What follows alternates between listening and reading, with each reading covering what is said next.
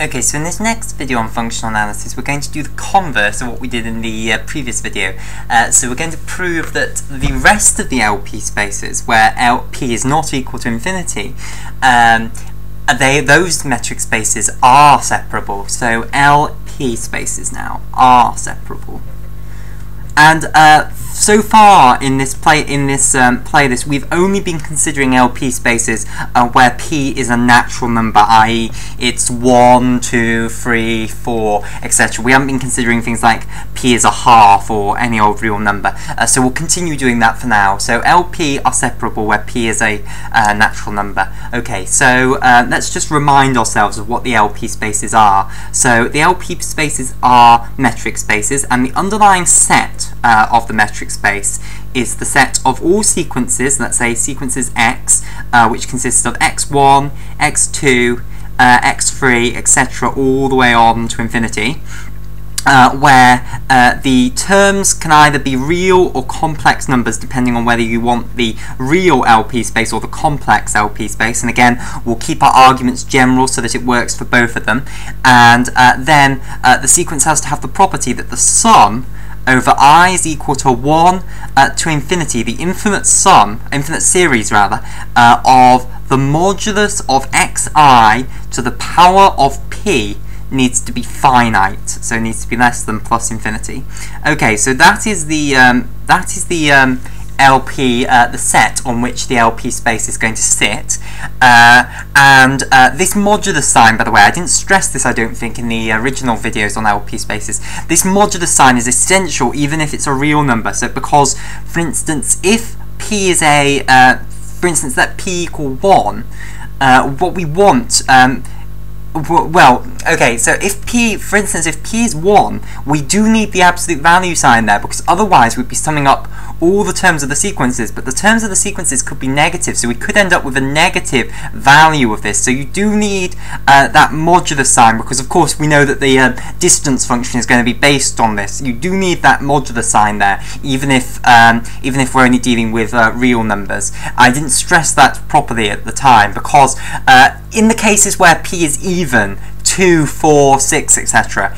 Uh, it doesn't matter. It doesn't matter because um, the squaring or the quarting or whatever, uh, raising to the power of an even number will turn it into a um, into a positive or non-negative number. Um, whereas, but the problem is if p is equal to an odd number, then that won't happen. So you do need the modulus, the absolute value sign there, whether it's a real or a complex LP space. And then we defined uh, the distance, which is often abbreviated, uh, written dp, uh, between x and y, where x and y are both sequences. So I'll just write that x is a sequence x1, x2, etc.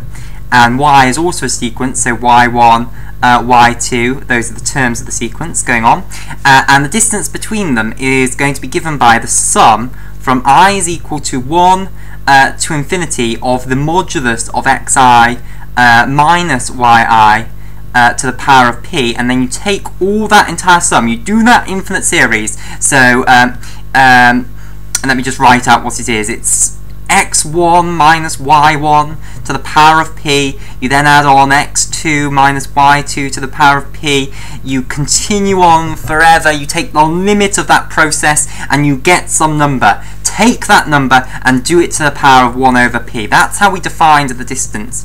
And uh, to prove that this that this actually even exists, that this is some finite value, we used the Minkowski inequality uh, to say that, you know, this is less than or equal to, the Minkowski inequality can be used to show that this is less than or equal, well, the Minkowski inequality exactly says that this is less than or equal to uh, the uh, infinite series i is equal to 1 to infinity the modulus of xi to the p to the power of 1 over p plus uh, the infinite series i is equal to 1 to infinity of the modulus, and really we should put in minus yi there because it's plus, the Minkowski inequality considers this a plus minus yi, so we put minus yi in there to the power of p, uh, all to the power of 1 over p, but of course the modulus of just removes that minus instantly. Uh, so um, providing xi and yi as sorry, providing x and y are elements of LP, uh, this is going to be a finite real number, and it's going to be um, so it is going to be well defined uh, metric on this uh, set. Okay, so what we now want to do, and we've seen in previous videos why it satisfies, you know, properties such as the triangle inequality and the other axioms of metric spaces. Okay, so what we now want to prove is that this metric space is separable, and the way we're going to do that is by uh, considering a set. So I'm going to show you the set, which is going to be our S. I um, remember to show that a metric space is separable, what you need to do is find a set a subset S, uh, which is um, which is dense with it, which is countable and dense within the whole metric space XD. Now the whole metric space is clearly it's clearly um, uncountable. Uh, how would I show that that metric space is uncountable?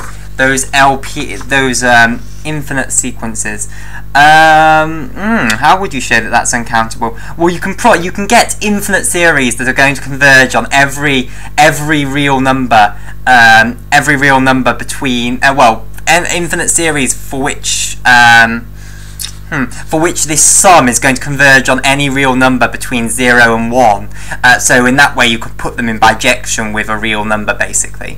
Uh, in fact, sorry, yeah, you could get infinite series that converge on any real number, couldn't you? You could get this sum to converge to any real number you like by altering the terms of the sequence and then what you could use that as, as a mapping so you could certainly map them onto the real numbers um, and it wouldn't necessarily even be injected uh, well sorry would it be uh, injective maybe isn't the right word. It wouldn't be one to one. I you could it well it could be one to one, but it might not be one to one. I you might even have multiple sequences going on to the same real number. Uh, so it would certainly mean that this was uncountable. Okay, uh, so uh, that implies that this set has to be a proper subset because it cannot be the whole subset. So we can't get away with this simple trick of saying, oh, if you've got a countable metric space, um, then it's instantly separable. This metric space isn't separable, so it's not trivial. That, uh, sorry, isn't uh, countable, so it's not trivially separable, but it is in fact separable. Uh, and I'm going to show you this set S. So let's say, let's define this set S to be the countable union, the union from n is equal to 1 to infinity of how am I going to write this out? Of sets. And I might as well label them uh, let's say um, t subscript n. And now I'll define to you what these sets t subscript n is. So the set t subscript n is the set of all sequences of um, of uh, rational numbers, so all sequences of rational numbers, so q1, q2 where you go up to the nth term, qn, and then after that nth term, all of them are zeros after that. All of the terms of the sequences are zeros. So it's a subset of uh, L infinity uh, where all of these initial terms are rational. So Q1, Q2, all the way up to Qn are all elements of the rational numbers. Right. Uh, so uh, if we took, for instance, to give a concrete example, T5 would be the set of all sequences, um, so it would be the set of all sequences where you have rational numbers for the first five uh, entries, Q1, Q2, Q3, Q4, Q5, and then after that you just have zeros. Not, no buts, you just have zeros. Zero, zero, zero, zero, zero. And other than that, you can have any rational numbers you like here. So uh, Q1 uh, to Q5 to Q5 are all elements of the rationals. So that's T5, and basically I want you to union up every single one of these sequence, um, or every single one of these sets of sequences.